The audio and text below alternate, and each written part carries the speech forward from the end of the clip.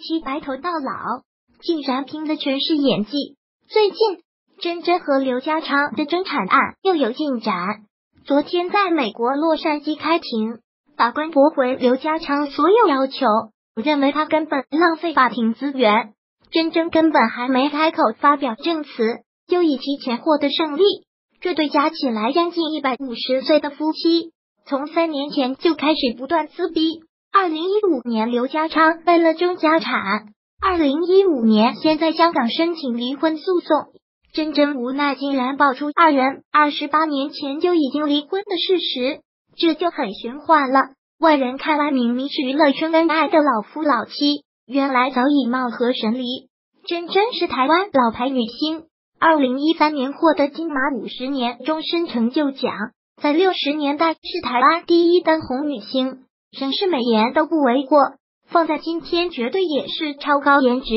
在那个没有美图 PS 的年代，真真的颜值让无数男人拜倒在她的石榴裙下。她是谢贤的第一任老婆，两人婚姻仅维持两年。离婚之后，谢贤认识了狄波拉，之后才有了谢霆锋、谢婷婷。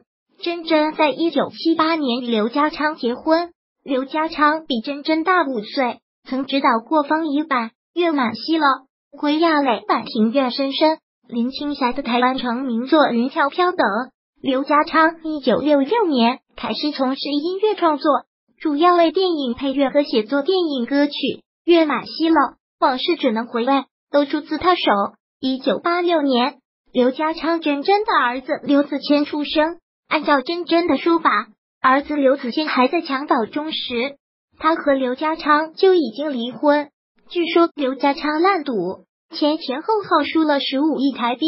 然而夫妻二人即使离婚多年，还会十指紧扣，绝不让外人看出婚姻破裂的迹象。这图真看不出已经离婚多年的样子吧？刘家昌做访谈聊婚姻是一个必备话题，娱乐圈像他们这么美满的婚姻，还真是找不出多少。不少网友印象最深刻的一次。当属刘家昌在《康熙来了》聊自己的美满婚姻，连小 F 都落泪了。二三三三三三，刘家昌在节目中说，他在真真十五岁时对他一见钟情，被她漂亮的外表吸引到了。他还说，当时的第六感告诉他，真真就是他的老婆。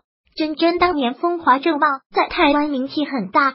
刘家昌只是个名不见经传的小喽啰，他的内心很自卑。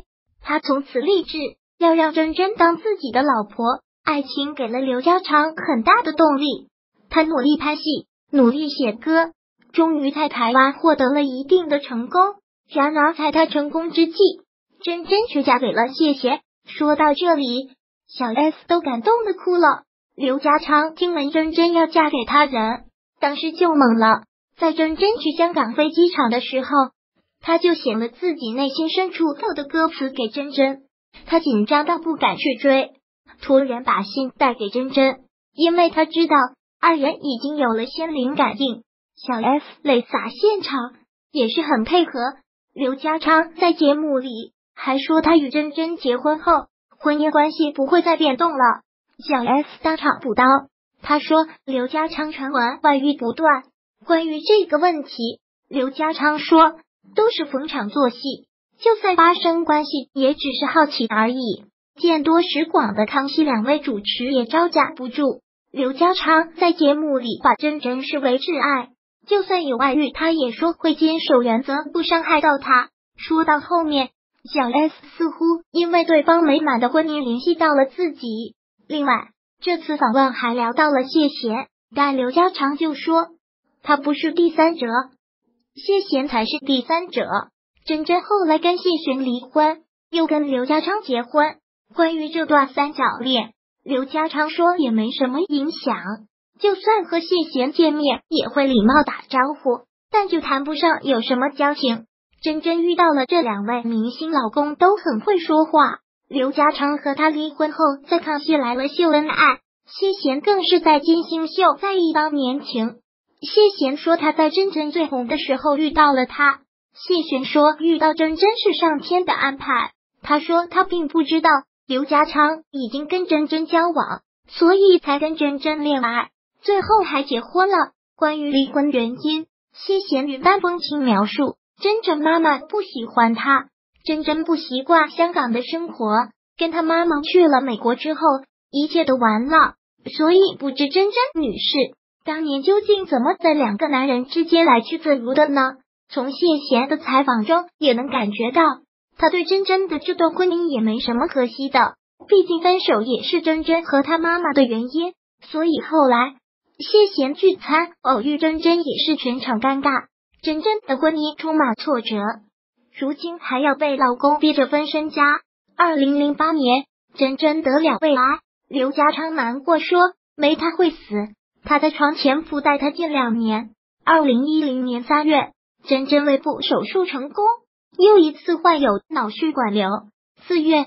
刘家昌在台北举行封 Make 演唱会，他说：“从今以后，我会紧紧牵真真的手，走在他前面抵挡风雨。”真真刘家昌离婚撕逼打官司，原因众说纷纭，又说是刘家昌过度干涉儿子刘子谦的发展，让他以家嗓唱自己写的歌，夫妻因此不和；还有说是他常流连各国赌场，只要没钱就要真真会给他。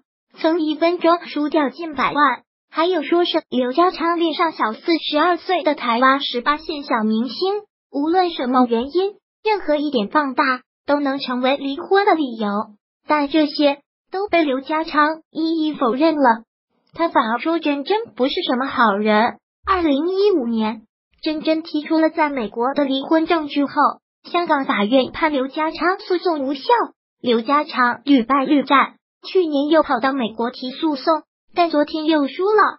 真真本人这次有到场，对于不战而胜，他苦笑说：“他刘家昌说要挣二十亿家产，我哪来那么多钱？”真真刘家昌已经演了几十年的假面夫妻，如今又辞个不停，看来这段爱情一开始就是大错特错啊！